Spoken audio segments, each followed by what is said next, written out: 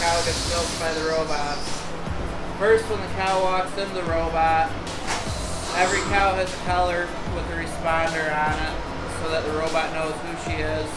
When she puts her head in the grain tray, the robot can tell which cow it is and it'll start dosing her grain based on who she is and how much milk she's making. As she eats her grain, the robot arm will come underneath the cow and will start brushing her teats for the first time with brushes with disinfectant on them. Throughout the milking process, she'll be dose grain according to her stage of lactation and pounds of milk she's making.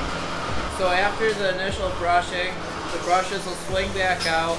They're disinfected with a peroxide mixture with water and they'll swing back underneath the cow. Clean the teats a second time and the second time after each teat is cleaned, they're blown dry with air.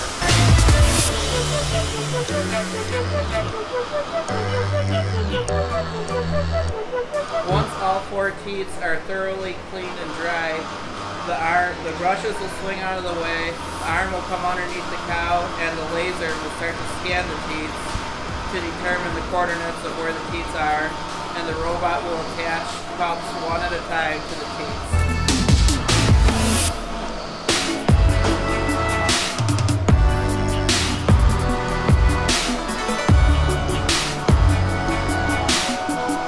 The robot will remember the teat coordinates for the last 10 milkings so that as it scans the teats, it already knows where they should be. Once milk flow is sensed in all four quarters, the brushes will disinfect with peroxide an additional time so it's ready for the next cow.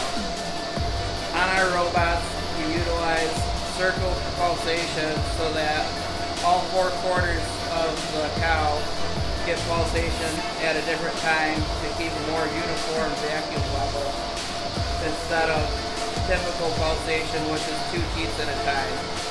Circle pulsation is much more uniform. As the milking process goes on, most cows don't have equal quarters right across the cow. So with the robot, one teat cup is pulled off at a time. So you don't have any quarters that are over milk or under milk. Once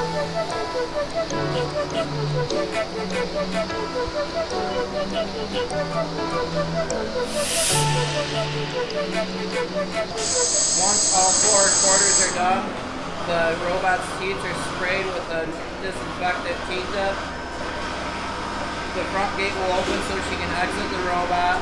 The robot arm comes out from the cow goes back to its home position and the cluster is cleaned with steam and then cool water.